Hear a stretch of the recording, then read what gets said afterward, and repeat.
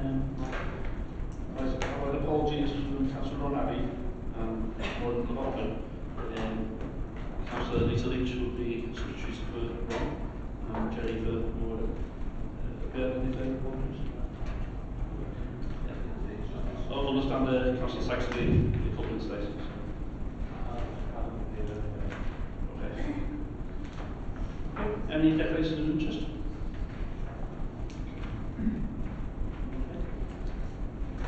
Um, safe to assume that no one's subject to the policy book?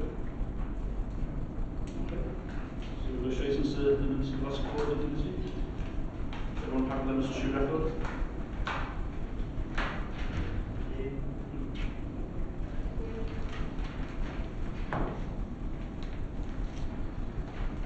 Um,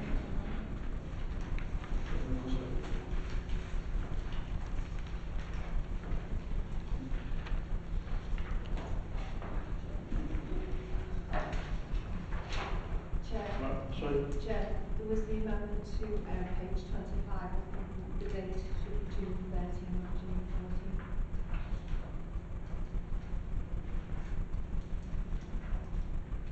This, this is the, the minutes the, the, the on one page twenty-five.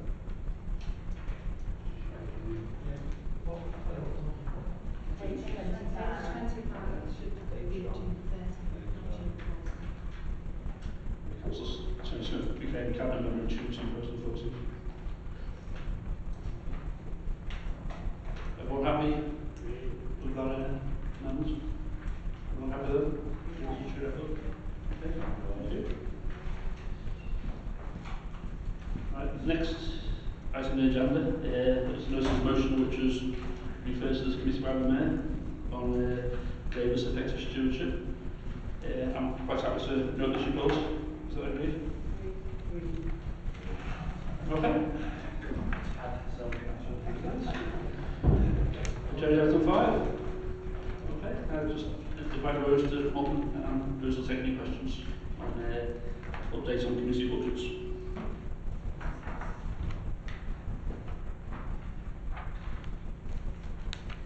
Okay, thanks, Chair. Um, I'll just make a few introductory comments to the report. It's obviously um, a brief update on the service transformation agenda, which um, the legacy, I guess you'd say, is the Community Budgets Initiative as set out in here. And obviously this is um, part of that we're always doing in terms of transforming how we deliver services going forward. And one of nine pilot areas delivering the service transformation. And I've given you a brief overview of the kind of focus of the project within there. So there's a number of work streams. Um, addressing health inequalities is the first one, and the focus on that is around development of food plan for Wirral.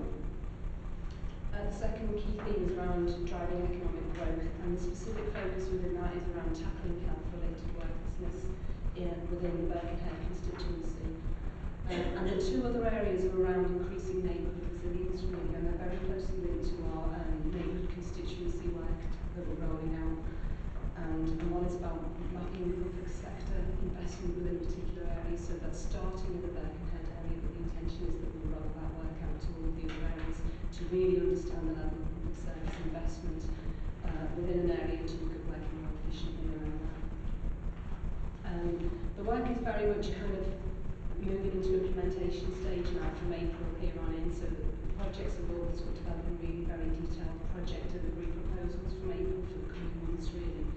So I guess um, that's kind of a brief overview, but really the, the very detailed delivery and implementation will start from April, so that's kind of what we're up to at the moment.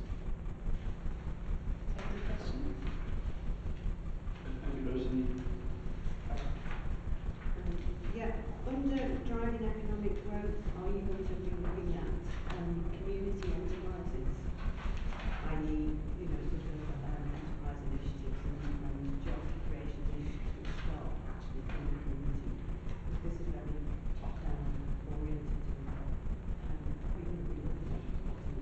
Yeah, the focus for that project is very much going to be looking at people who have um, a health-related condition and events and who likely so the ones who come in health-related benefit.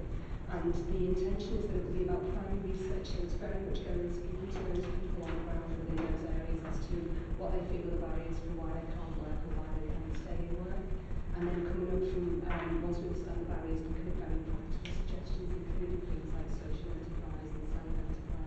so there's a whole range of possibilities within that, um, but it's very much about developing solutions in response to what people feel are their problems.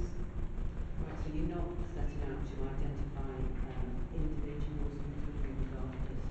So entrepreneurs, you're setting out to look at people who have got um, exclusion issues. Well, the starting point is the really high levels of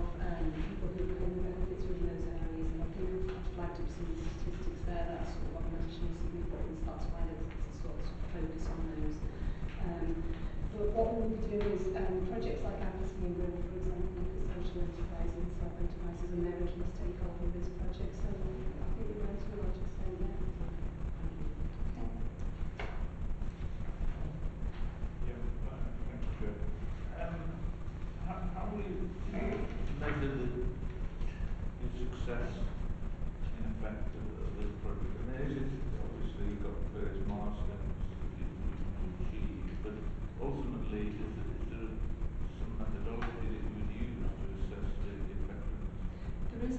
methodology, so within each of the four sort of streams, there's a very detailed sort of project proposal that's going to come out that will say, here's the current situation, here's what we think is the problem or the issue, here's what we think we'll do to overcome it. But within that, we're also um, setting out a cost benefit analysis. So the measure of success will be how much we can save and how much more efficient we can deliver a service within an area by sort of joining those budgets together. So as well as a range of outcomes that improve things for the residents, there will be a very tangible cost benefit economic and business case underpinning each budget as well.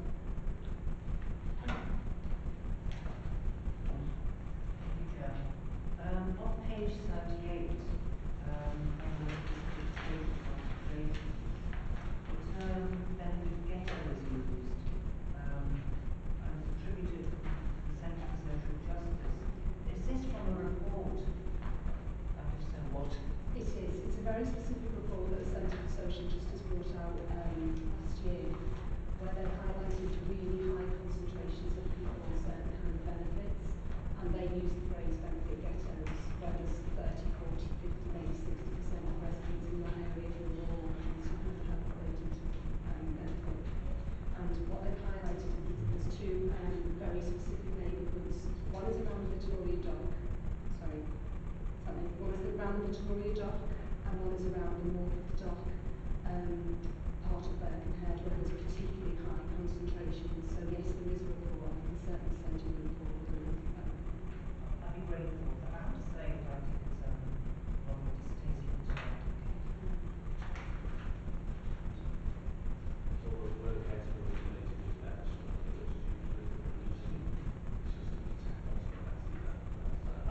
That'd but Denise makes a good point, given some of the adverse TV programmes, benefits speech, benefits ghetto. I think the, uh, the language is, is something that i- i- is, is uh, upsetting people. Uh, and, uh, you know, so I think it's, it's a point well made, but it's not our language, which is the main thing. It's, it's language of government agencies, so we'll see clarification of that language. I think it'd be helpful if you did safe right report around the, the whole committee road. Sorry, what's that? If you did safe right report around the committee. Yep. Any further questions?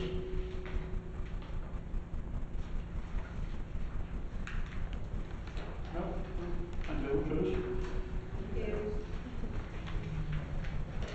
All happy with recommendations on page forty-one, fifteen A and? Agreed?